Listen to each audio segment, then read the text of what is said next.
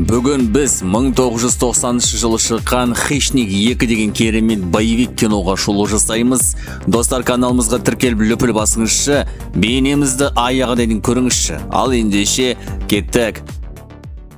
Кино басында полиция қызметкерлері бір бұзақылармен атысып жүреді. Олар естірткі сатумен айналысатын бандиттер еді. Полиция қызметкерлерінің арасында Майкл Харриган деген басты кейіпкеріміз болады. Атыс болып жатқан жерде тікелей эфир болып жатыр екен. Бір кезде бандиттар бір ғимараттың ішіне кіріп кетеді. Байқасақ ультра түсті түрде барлығын хищник қарап жүр екен. Ақыры бандиттардың бастығы ғимараттың үстіне дейін мініп қашады оның артынан майкл жетіп келіпті. Бір кезде әлгі бандит жыртқышты байқап қалады. Қаруын оған тіреп еді майкл оны атып түсіреді. Бұл жігіт төбеден жерге құлады. Майкл бір кезде біреудің жүргенін сезіп бұрылып қалады. Сол кезде сәл ғана жыртқыштың денесін көреді. Жыртқыш қашып кетеді. Ал майкл болса не көргенін түсінбей тұр. Біраздан кейін полиция қызметкерлері бандиттардың қалай ғана тез арада азайып мерт болғандарын зерттеп қарап жүреді. Олардың бәрін тағы да біреу өлтіріп тастаған түсінеді. Мүмкін қаладағы белгілі бір мафиялардың біреу шығар деп есептейді. Кенет біраздан кейін олар төбеде асылып тұрған бір жігіттің денесін көреді. Майклдың қасында дэнни деген досы бар еді. Ол майклға қарап бұл денені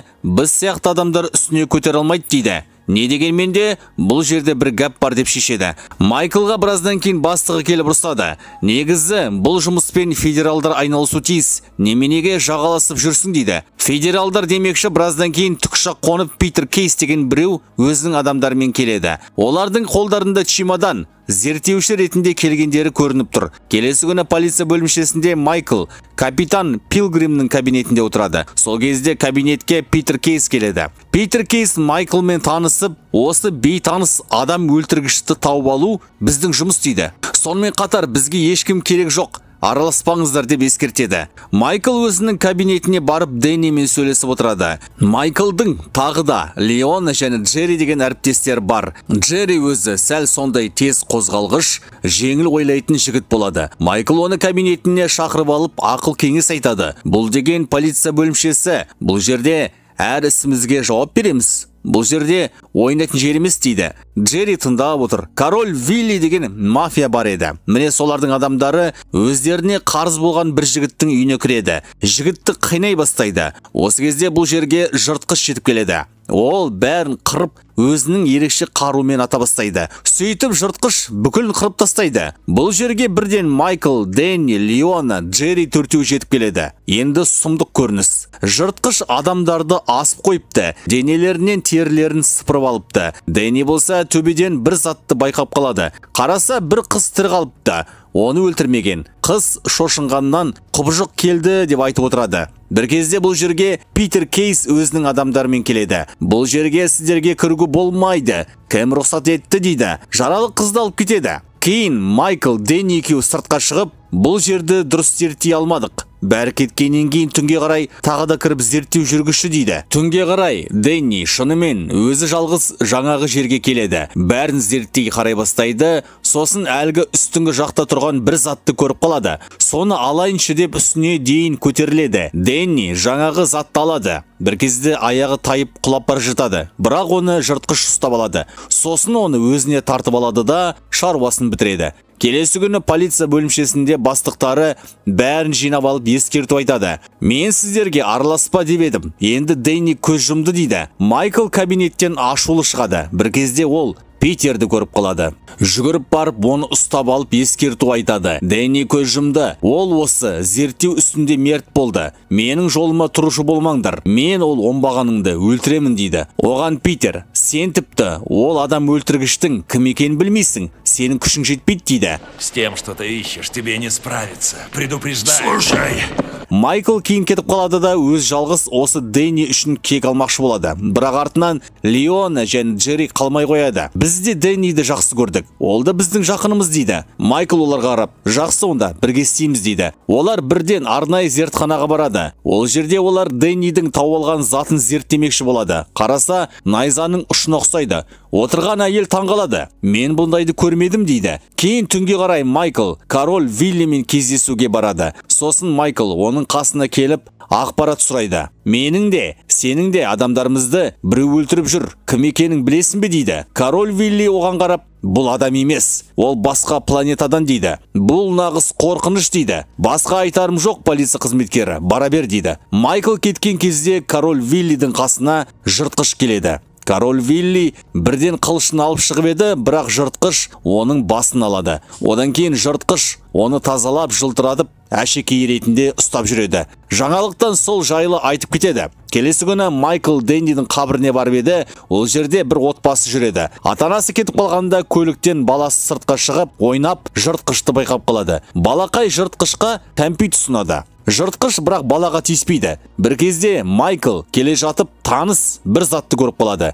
Бірден маңайына қару тақап қарайды. Бірақ ешкім жоқ. Метрода леона мен джерри екеуі жүреді. Бұзақылар бәріне тиісіп жүреді. Сол кезде леона мен джерри оларды тоқтату үшін жетіп келеді. Бірақ бандиттарды тоқтату үшін бүкіл пассажирлерде қарулар болады. Бір кезде ол жерге жыртқыш келіп бәрін қыра бастайды. Леона қарапайым халықты басқа вагондарға көшіре бастайды. Ал джерри жыртқышпен атса кетеді. Бірақ оған ешқандай да оқ батпайды екен. Мықтылау қару керек еді. Сөйтіп жыртқыш джерридің де көзін құртады. Пойыз тоқтап леона джерри жүрген вагонға жетіп келеді. Қараса джерри мерт болыпты. бір кезде жыртқыш леонаны ұстап алады. Жыртқыш леонаның денесінің ішінен баланы көріп қалады. Біраздан кейін полиция қызметкерлері келеді. Леонаға тиіспей кетіп қалыпты. Мейірімді жыртқыш екен. Ал леонаның аяғы ауыр екені кейін білінеді. Майкл болса бірден жаңағы джерри мерт болған жерге келеді. Сосын жыртқышты іздей бастайды. Бір кезде жыртқышты байқап оның артынан ере бастайды. Сөйтіп көлікке мініп оны қуып жүргенде питердің адамдары майклды ұстап алады сосын оны бір контейнерге кіргізеді. Ішінде сол питер жүр. Питер оның командасы баяғыдан бері осы жыртқышты ұстағысы келіп жүр екен. Ол жайлы біледі екен. Питер майклға қарап бәрін түсіндіреді. Бұл ғажайып жаратылыс. Бұның адамға көрінбей кетуі керемет екен? дейді. Біз оны өлтірмейміз. Біз оны ұстап аламыз. Бұл жаңалық болады. Прогресс болады дейді. Восторгаетесь ублюдком? Не тем, что он делает, лейтенант. Тем, каков он. Тем, что он может дать. Питер арнайы ет сақталған жерге оған қақпан жасапты. Жыртқыш осы жерге көп келеді екен. Сол үшін де біз бұл жерді етке толтырып қойдық және қақпандарымызды жасап қойдық дейді. Бір кезде олар камерадан жыртқыштың келгенін көреді. Питер және бірнеше жігіттер арнайы киімдерін киіп миссияға кетеді. Майклға қарада отыр деп қояды. Бір кезде жыртқыш питер жүрген жерлерге келеді бірақ ол бәрін сезіп қояды. Бірден қашып басқа жақтан атылмақшы болады. Осыны байқаған майкл бірден оларға барамын дейді. Алдына кедергі тұрған жігіттерге қаруын шығарып сосын өзінің көлігіне барып дайындала бастайды. Ал осы уақытта жыртқыш питердің командасына атыла кетеді. Бәрін қырып тастайды. Питер кейін басындағы камерасы бар маскасын шешіп тастайды. Әдейі су жаудырады. Осы арқылы сәл болса да жыртқышқа көрінбейміз дейді. Бір кезде көлікпен майкл жетіп келеді. Сосын жыртқышты ата бастайды. Бір уақытта тіпті бірнеше рет оны қарумен атып жерге құлатады. Жыртқыш мерт болған сияқты болады. Майкл қасына жақындап оның бетіндегі маскасын шешеді. Да ты урод, настоящий ублюдок.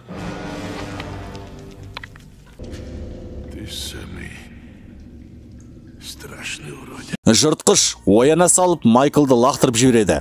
Бір кезде питер пайда болып түтін шығаратын қаруымен жыртқышты тоқтатамын деп ойлайды. Бірақ жыртқыш өзінің бумерангын алып шығып лақтырады. Питер мерт болады. Ал майкл үстіне қарай қаша кетеді. Жыртқыш артынан жетіп келіп төбеге мініп ақырып жатқанда майкл оны итеріп жібереді. Жыртқыш құлайын деп тұр бірақ майклды ұстап алыпты. Ол өзінің қолындағы пернелерді басып бәрін жармақшы болады. Сол кезде майкл жыртқыштың бумерангын көріп соны алады да жыртқыштың ұстап тұрған қолын кесіп тастайды. Жыртқыш жерге құлайды. Сосын ол бір үйдің дәретханасына кіріп кетіп өзінің қолын емдейді. Осы кезде үйдің иесі бір кемпір сыбырғышпен келіп тұрады. Бірақ жыртқыш бәрін сындырып кетіп қалады. Артынан майкл пайда болады. Не бойтесь, я коп. Я думаю, ему на это плевать. майкл жаңағы жыртқыш қашқан жерге барып артынан еріп келеді қараса өзге ғаламшарлық кеменің үстіне түседі сосын ол кеменің ішіне кірсе жаңағы жыртқыш осында жүр екен ол майклға атыла бастайды. Екеуі төбелесіп кетеді. Майкл шамалы қалып еді өлетін еді. Бір кезде оның есіне бумеранг түсіп кетіп соны жыртқыштың денесіне бірақ тығады. Жыртқыш біраз айқайлап мерт болады. Біраздан кейін қаншама жыртқыштар пайда бола бастайды. Олардың ішінде де бастықтар бар екен. Олар майклға тиіспей жаңағы жаралы достарын алып кетеді. Ал ішіндегі бастығы майклға қару лақтырып қалады. Сөйтсе 1715 жылғы қару екен. Сол жылдары біреуден алып қойған болу керек. Бір кезде кемелері қозғала бастап майкл сыртқа қашып кетеді. Сосын үсті бәрі быт болып бұл қараңғы үңгірдің ішінен шығады. Бір кезде тікұшақ тоқтап алдына питердің бір адамы шығады. Сіз бәрін құрттыңыз. Зерттемеміз быт болды дейді. Полиция көліктері келе жатып бұл жігіт кетіп қалады. Осылай кино аяқталады.